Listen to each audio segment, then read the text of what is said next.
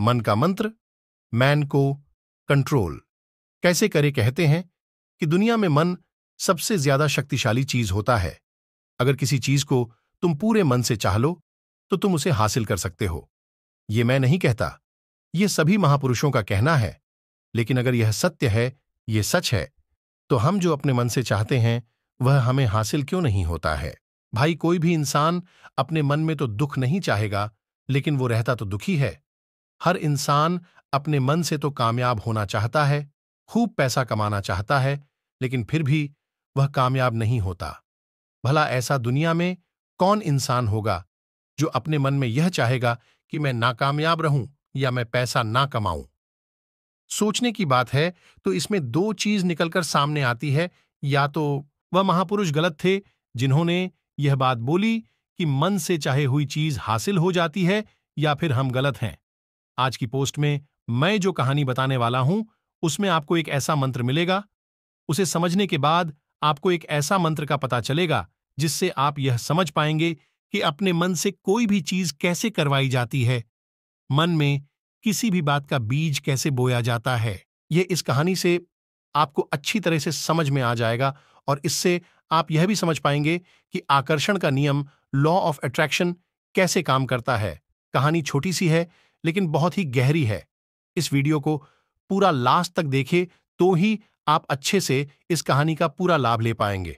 तो चलिए, कहानी शुरू करता हूँ और समझते हैं कि मन का मंत्र मन को कंट्रोल कैसे करें।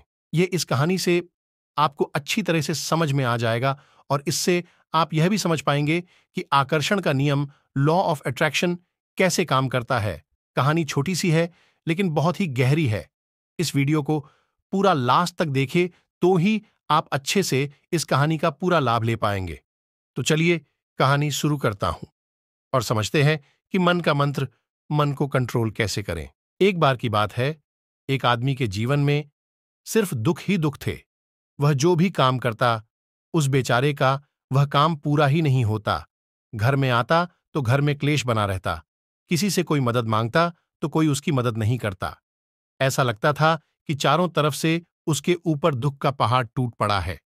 उसे समझ नहीं आ रहा था कि मैं इन दुखों से कैसे पार पाऊँ, वह दिन रात यही सोचता रहता था कि अपने दुखों से छुटकारा कैसे पाना है। इसी कारण से वह रात में सो भी नहीं पाता था। उसकी आँखों के नीचे बड़े बड़े काले घेरे बन गए थे, जो इस बात का प्रतीक थे कि वह आदमी कितना दुखी है और कितना चिंतित है। कभी कभी तो उसके मन में आत्महत्या करने के भी ख्याल आते थे, लेकिन अपने परिवार की चिंता करके वह यह कदम नहीं उठा पाता। वह इतना दुखी हो गया कि उसने निर्णय किया कि वह इन दुखों से छुटकारा पाकर ही रहेगा। इसके लिए चाहे उसे कितनी ही मेहनत करनी पड़े, कुछ भी करना पड़े, चाहे अंगारों पर चलना पड़े, लेकिन इन दुखों से छुटकारा हासिल करके रहेगा। ऐसे ही एक दिन उसने अपने मित्र से पूछा कि मैं अपने जीवन को कैसे सुधारें? उसके मित्र ने उसे बताया कि तुम किसी बाबा के पास जाओ। बाबाओं के पास ऐसा मंत्र होता है, जिससे सारे दुख मिट जाते हैं। जीवन खुशियों से भर जाता है और धन संपदा भी हासिल होती है। तुम किसी ऐसे बाबा को ढूंढ लो, बस तुम्हारा काम बन जाएगा। उस आदमी के मन में यह बात पूरी तरह से पक्की बैठ गई कि कोई बाबा ही मेरा दुख दूर कर सकता है। और इसीलिए उसे किसी भी बाबा के बारे में पता चलता तो वह उस बाबा के पास पहुँच जाता। उस बाबा को अपनी समस्या बताता और उससे उसका समाधान पूछता और कहता कि, बाबा, मैं कुछ भी करने के लिए तैयार हूँ, लेकिन मेरी इन समस्याओं से मुझे छुटकारा दिला दीजिए। आप जो कहेंगे, मैं वह करूँगा, लेकिन मेरे जीवन को सुधार दीजिए। बाबा उसे कुछ टोने टोटके बताते थे, करने के लिए और बदले में दान दक्षिणा ले लेते थे कि, यह टोना टोटका करने के बाद तुम्हारे घर में सुख शांति बनी रहेगी। बस इस टोटके को पूरी विधि के साथ करना। वह आदमी घर लौटकर पूरी विधि के साथ टोने टोटके करने लगा। लेकिन बहुत टोने टोटके करने के बाद भी उसके जीवन में कुछ बदलाव नहीं आया। इसके विपरीत उसका जीवन और ज़्यादा दुखी हो गया। जो भी बाबा उसे टोना टोटका देता था, वह बदले में उससे दान दक्षिणा लेता था। नहीं रहे हैं और छोटा सा मंत्र है, इसे तो मैं कर ही लूँगा। वो बोला, ठीक है बाबा मैं यह मंत्र ज़रूर करूँगा। और वो आदमी यह कहकर वहाँ से चलने लगा। लेकिन जैसे ही वह चलने लगा, पीछे से बाबा ने बोला, कि बच्चा, एक बात याद रखना। जब तुम यह मंत्र अपने मन में दोहराना तो तुम्हारे मन में बंदर के विचार नहीं आने चाहिए।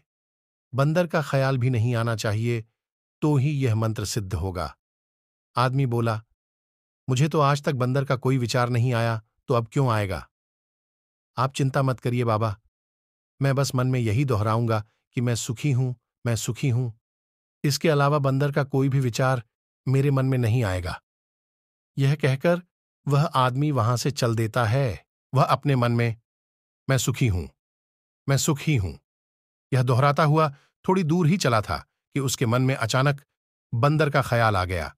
बंदर का ख्याल एक बार आया और चला भी गया। लेकिन उस आदमी ने सोचा, आज तक तो मुझे बंदर का कोई भी विचार नहीं आया।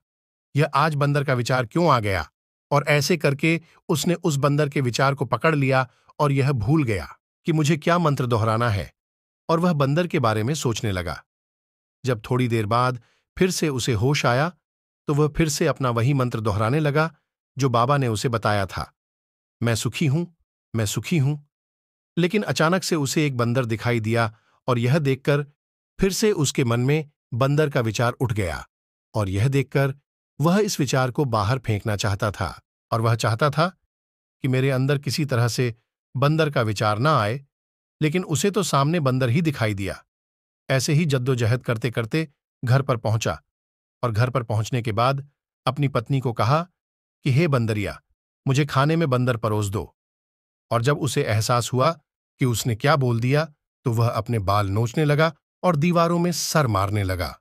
कि आज तक मुझे बंदर का कोई भी विचार नहीं आया और आज मुझे यह क्या हो गया है कि मुझे हर जगह बंदर ही बंदर नज़र आ रहे हैं। यह कैसी माया है? यही सोच सोचकर वह आदमी रात भर सो नहीं पाया। रात भर करवटें बदलते रहा और सुबह उठकर सीधे उसी बाबा के पास पहुँच गया और उसके चरणों में गिरकर कहा कि, बाबा, पता नहीं क्या चमत्कार हो रहा है। आज तक मुझे बंदर का कोई विचार नहीं आया, लेकिन कल से जब से आपने मुझसे कहा कि बंदर का विचार नहीं आना चाहिए, तब से मुझे हर जगह बंदर ही बंदर नज़र आ रहे हैं। उस आदमी ने कहा कि, बाबा, मुझे तो आपके पीछे पेड़ पर बैठा बंदर केले खाते हुए दिखाई दे रहा है। यह हो क्या रहा है, बाबा? ये सुनकर बाबा हंसने लगे। हाँ हाँ हाँ हाँ। बच्चा मन का जाल एक ऐसा जाल है जिसे समझ पाना इतना आसान नहीं है। बंदर तो तुम्हारे रास्ते में पहले भी आते थे। जब तुम मेरे पास आए थे तो इन्हीं पेड़ों पर ये बंदर घूम रहे थे। लेकिन तब तुम्हारे ध्यान में ये बंदर नहीं था। तब तुम्हारे ध्यान में सिर्फ़ दुख थे। इसके बाद बाबा ने उसे बताया कि, बच्चा, हम जिस चीज़ से भी दूर भागना चाहते हैं, वही चीज़ हमारे मन में बहुत गहरे में प्रविष्ट हो जाती है और हमारे अंतर्मन में समा जाती है। असल में हम जिस चीज़ से छुटकारा पाना चाहते हैं, उससे छुटकारा इसीलिए पाना चाहते हैं कि वह हमारे साथ बहुत गहरे से जुड़ी हुई है और हम जितना ही उससे छुटकारा पाना चाहते हैं, वह उतनी ही गहरी। हमारे मन में बैठती चली जाती है और आखिरकार हमारे अंतर्मन में छा जाती है। ऊपर से तो हम चाहते हैं सुखी होना कि मैं सुखी हूँ सुखी हूँ। हमारे होंठ भी यही बोलते रहते हैं, लेकिन हमारे मन में दुख समाये होते हैं। हमारे विचारों में, हमारे मन में दुख ही दुख दिखाई देते हैं। इसीलिए अपनी ज़ुबान से बार बार यह बोलने से कि मैं सुखी हूँ, मैं सुखी हूँ। हम सुखी नहीं होंगे। जब तक यह मंत्र हमारे अंतर्मन में प्रविष्ट नहीं होगा, इस पर उस आदमी ने पूछा कि, बाबा, लेकिन यह मंत्र हमारे अंतर्मन में प्रविष्ट कैसे होगा? यह सुनकर बाबा ने कहा कि, बच्चा अपने दुखों से लड़ना बंद कर दो। जब तक तुम अपने दुखों को दूर करने की सोचते रहोगे, तब तक वो दुख तुमसे चिपके रहेंगे, तब तक वो दुख तुम्हारे अंतर्मन पर अपना राज बनाए बैठे रहेंगे और जिस दिन तुम उन दुखों के बारे में सोचना ही छोड़ दोगे, उन दुखों से छुटकारा ही नहीं पाना चाहोगे, उसी दिन से तुम्हारे ज़िंदगी से दुख गायब हो जाएँगे, क्योंकि किसी भी चीज़ से छुटकारा पाने के लिए हमें उस चीज़ के बारे में सोचना पड़ता है, और हम जितना ही उस चीज़ के बारे में सोचते हैं, वह उतनी ही गहरी हमारे मन में प्रविष्ट होती चली जाती हैं। हम अधिकतर समय दुखों के बारे में ही सोचते हैं। हम यही सोचते हैं कि हमारे जीवन में दुख है और हमें इससे छुटकारा पाना है? इसी वजह से बार बार सोचने से वो दुख हमारे अंतर्मन में प्रविष्ट हो जाते हैं और हमें एहसास भी नहीं होता। इसीलिए अगर तुम दुखों से छुटकारा पाना चाहते हो तो दुखों से छुटकारा पाने के बारे में सोचना छोड़ दो तुम्हें। दुखों से छुटकारा मिल जाएगा। अक्सर आदमी धूम्रपान छोड़ना चाहता है, शराब छोड़ना चाहता है।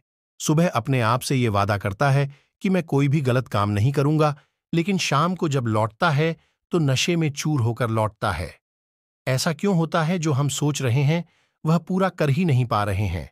असल में हम उस चीज़ को बहुत ज़्यादा तवज्जो दे रहे हैं, उस चीज़ को बहुत ज़्यादा अहमियत दे रहे हैं। जब भी हम उस चीज़ को छोड़ने के बारे में सोचते हैं तो हम उसकी इम्पॉर्टेंस इम्पॉर्टेंस यानी कि विशेषता और ज़्यादा बढ़ा देते हैं। हमारा मन उस चीज़ के बारे में जितना ज़्यादा सोचेगा शराब या धूम्रपान छोड़ने के बारे में जितना ज़्यादा सोचेगा, हमारा मन उतना ही उस चीज़ के पीछे ज़्यादा भागेगा। हमें उस चीज़ से लड़ना नहीं है, बल्कि बिना सोचे गुजर जाना है, और अगर हम इस मंत्र को समझ लेते हैं तो हम अपने जीवन में जो भी पाना चाहते हैं, उसे अपने अंतर्मन में डाल सकते हैं, और एक बार वो लक्ष्य हमारे अंतर्मन में बैठ जाता है तो फिर सफलता पाने में कोई समस्या नहीं आती, कोई दिक्कत नहीं आती। तो दोस्तों कैसी लगी आपको यह कहानी? दोस्तों, उम्मीद है आपको यह कहानी पसंद आई होगी।